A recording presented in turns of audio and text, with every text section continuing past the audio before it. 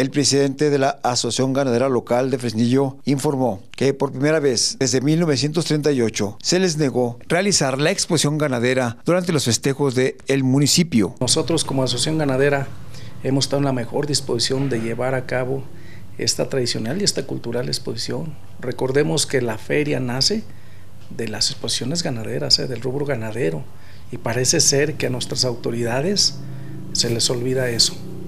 Nosotros lo hemos hecho año con año con el fin de que la ciudadanía tenga estos ejemplares, eh, la manera de ver lo que nosotros producimos en el municipio.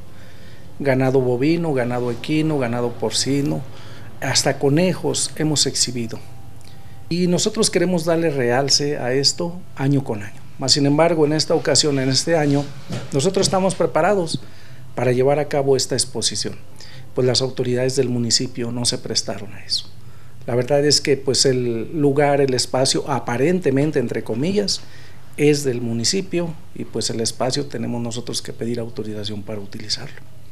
No les pedíamos nada más, solamente que nos dejaran llevar a cabo la exposición y le reitero, para beneficio de la ciudadanía, que pudieran ir a ver estos ejemplares, como le repito, lo que producimos aquí en el municipio. No fue posible, ahora solamente tendremos el festejo del Día del Ganadero, que lo llevaremos a cabo como lo hemos hecho anteriormente, con una cabalgata el domingo primero de septiembre, partiendo de las 11 de la mañana de Lienzo Charro, Los Magueyes, y pues daremos un recorrido aquí por las calles principales de nuestro frenillo y llegaremos a convivir y a compartir el pan y la sal aquí en los casinos ganaderos. Entonces estamos haciendo la invitación para nuestros ganaderos, pero también a toda aquella gente de a caballo, aquella gente que ha convivido con nosotros y que también son ganaderos, porque la gente que tiene eh, ganado, aunque sea equino, son ganaderos y pertenecen al gremio, pertenecen a esta bonita actividad que realizamos.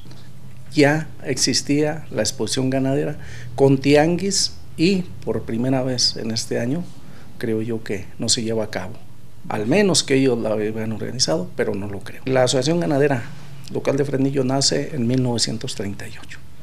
Desde esos años para acá, estamos hablando de más de 80 años de tradición de esta exposición ganadera. Lamentable, muy lamentable.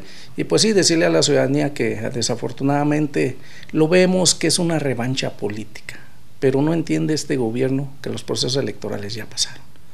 No entienden que esto es aparte, esto es otra cosa. Pero bueno, lamentablemente ahí está la situación. Son imágenes de Marlene Hernández, informa para 15 Noticias, Ernesto Vázquez.